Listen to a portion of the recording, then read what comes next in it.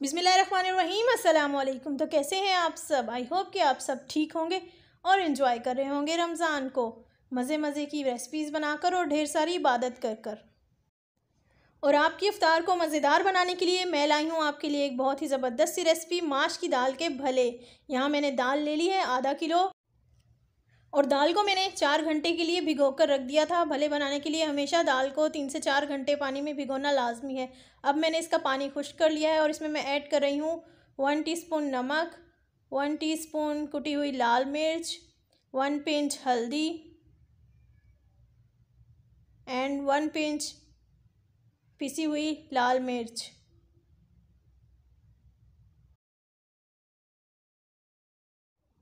और इसके बाद इसमें जाएगा लहसुन अदरक का पेस्ट और यहाँ मैं पिसा हुआ लहसुन अदरक का पेस्ट डाल रही हूँ। आप चाहें तो आप साबुत लहसुन और अदरक भी डाल देंगे क्योंकि हमें वैसे ही इसको दाल को ग्राइंडर करना है तो वो सब चीज़ें अच्छे से मिक्स हो जाएँगी। तो अब मैं इसे यहाँ पे मिक्स कर लेती हूँ और इसमें मैं ऐड करूँगी थोड़ा सा पानी ताकि ये मसाला इस दाल में अच्छे से मिक्स हो जाए पीसने से पहले। और आखिर में मैं इसमें ऐड कर दूँगी थोड़ा सा ज़ीरा, यानी कि वन टीस्पून ज़ीरा।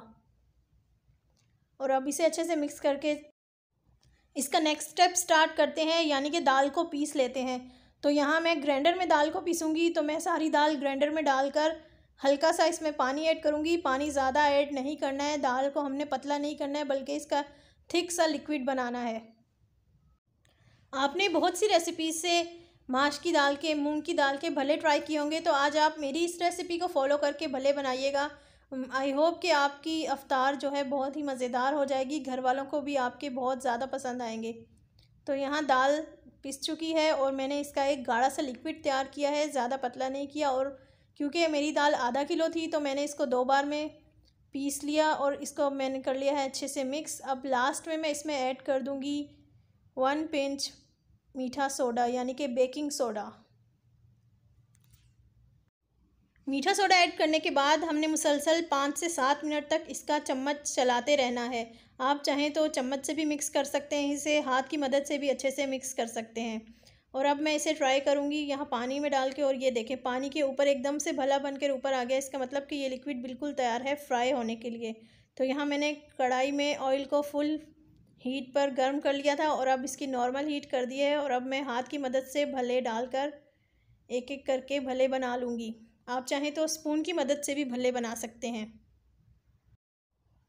अब जैसे ही भलों की एक साइड गोल्डन ब्राउन हो जाती है तो हम इसकी साइड चेंज कर देंगे और बिल्कुल प्यार प्यार से इसका चम्मच चलाएँगे ताकि भले टूटे ना और ये बहुत अच्छे से फ्राई हो जाएँ। तो यहाँ ज़बरदस्त से भले एक साइड से फ्राई हो गए थे, अब मैं इसकी साइड चेंज कर दूँगी।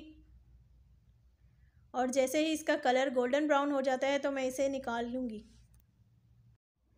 तो ये देखिए, भले फुली फ्राइड हो चुके हैं और बहुत ज़बरदस्त सा इनका कलर भी आया है तो अब हम इसे निकाल कर साइड पे रख लेंगे और मैं अभी भलों को रखूँगी अखबार के ऊपर ताकि इसका जो फालतू ऑयल हो वो सारा अखबार जज्ब कर ले। और इसके बाद बाकी बचे हुए बैटर के भी मैं सारे भले बनाकर रख लूँगी और आप इन भलों को फ्रीज़ भी कर सकते हैं। तो जितने आज मेरे यूज़ होंगे मैं कर लूँगी और बाकी बचे हुए भलों को मैं फ्रीज़र में रख लूँगी एक अखबार में। लपेट के ताकि इसको हम इजीली बाद में भी यूज़ कर सकें। तो यहाँ मैंने अब भलों को दस मिनट तक ठंडा किया और ठंडा करने के बाद अब मैंने नॉर्मल पानी लिया है, ना ठंडा, ना गर्म, उसमें मैं भले डाल दूँगी और पाँच से सात मिनट के लिए छोड़ दूँगी ताकि भले नरम हो जाएँ। तो दस मिनट गुजरने के बाद अब मैंने भले चेक किए हैं तो ये बिल्कुल सॉफ्ट हो चुके हैं। अब एक एक करके मैं सारे भलों का पानी खुश कर लूँगी और इसे साइड पर रख लूँगी। तो देखिए मैंने सारे भलों का पानी निचोड़ लिया है और अब मैं इसे एक साइड में बिल्कुल सॉफ्ट बाद की मदद से भलों का पानी निचोड़ना है ताकि ये भले टूटे ना। इमली की चटनी जो कि सबसे इम्पोर्टेंट पार्ट है दही भलों का। तो यहाँ मैंने इमली का पल्प ले लिया है। इमली मैंने भिगो कर रख दी थी और जब वो अच्छे से भीग गई तो मैंने उसकी गुटलियाँ अलग करके उसे ग्राइंडर कर लिया और ये इमली का पल्प तैयार हो गया। अब इसमें मैं ऐड करी हूँ वन पिंच नमक हाफ़ टी स्पून कुटी हुई लाल मिर्च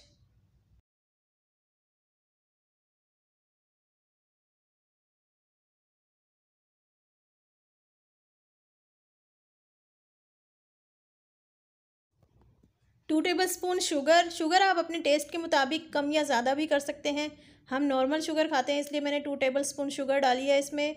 और अब ये सारा जो मिक्सचर है, ये मैं फ्राई पान में डालकर बिल्कुल नॉर्मल हीट पर इसको पका लूँगी पाँच से छः मिनट तक।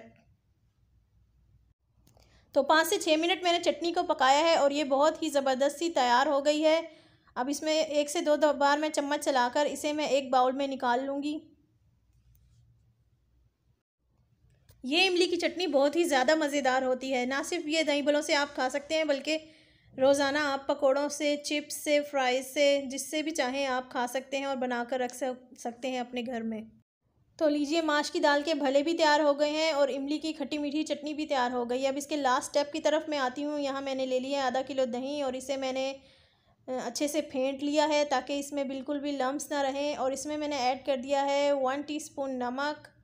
वन टीस्पून भरकर chaat masala, one tablespoon sugar, और अब ये सब चीज़ें ऐड करने के बाद मैं अच्छे से दही को मिक्स कर लूँगी।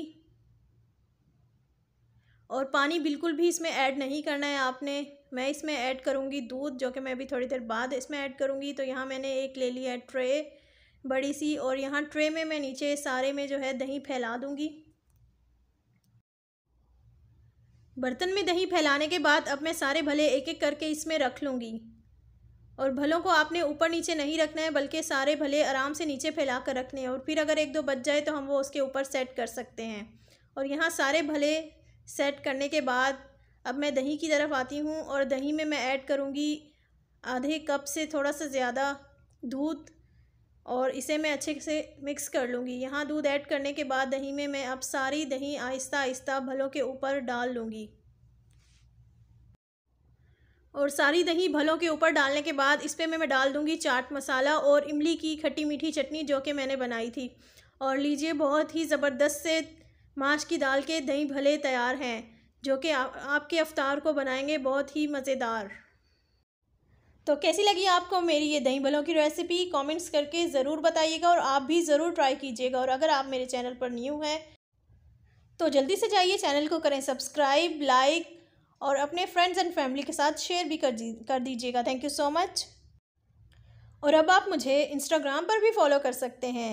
लिंक आपको डिस्क्रिप्शन में मिल जाएगा। तो यहाँ ज़बरदस्त से दही भले तैयार हैं, जो कि ना कि सिर्फ़ दिखने में बहुत मज़े के लग रहे हैं।